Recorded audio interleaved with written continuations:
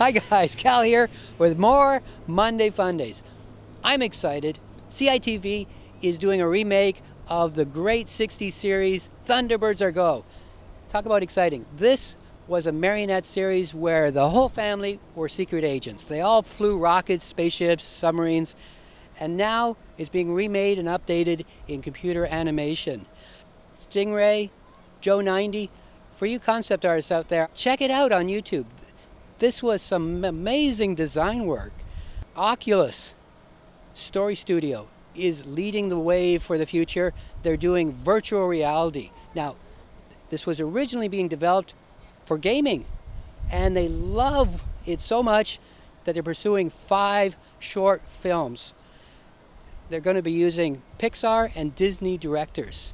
SpongeBob, Sponge Out of Water, their latest feature film it's now up to $142 million. Very clever advertising. I watched the trailer and you think it's a computer animated film. It looks very flashy, exciting. There's only about two minutes of computer animation in it. So while you're watching it, you get to enjoy that childlike, you know, revival of what SpongeBob was all about. It was very appealing and it's 2D animation.